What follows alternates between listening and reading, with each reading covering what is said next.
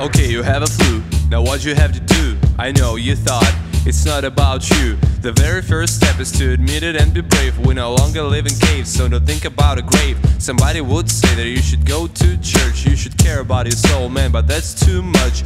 Go to a hospital, let doctors do their jobs, trim your sails to the wind. That's your input, that's a lot.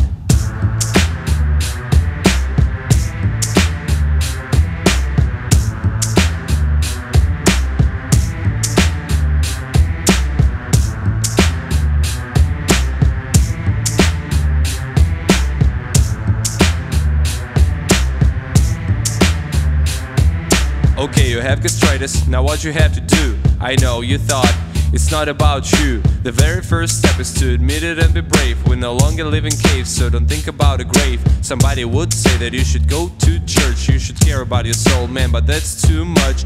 Go to a hospital, let doctors do their job, trim your sails to the wind. That's your input, that's a lot.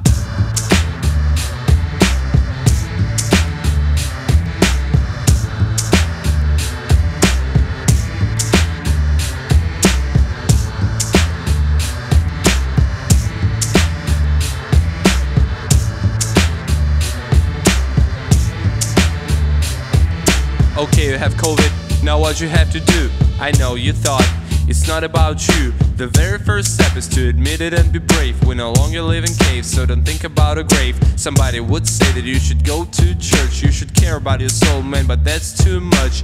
Go to a hospital, let doctors do their jobs, trim your sails to the wind, man, that's your input, that's a lot.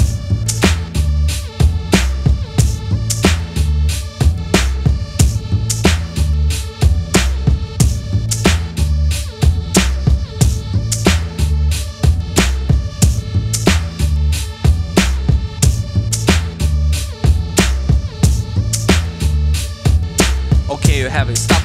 I know you've heard enough. Like all I wanna say is yes, sometimes it's tough, but we live in a world of technologies and kindness, and to fight any disease, all you need is to whine less. You gotta be strong, gotta be brave. The medicine will do it in the best way. And what about you? Relax and think positive. Keep yourself in shape and never think what if.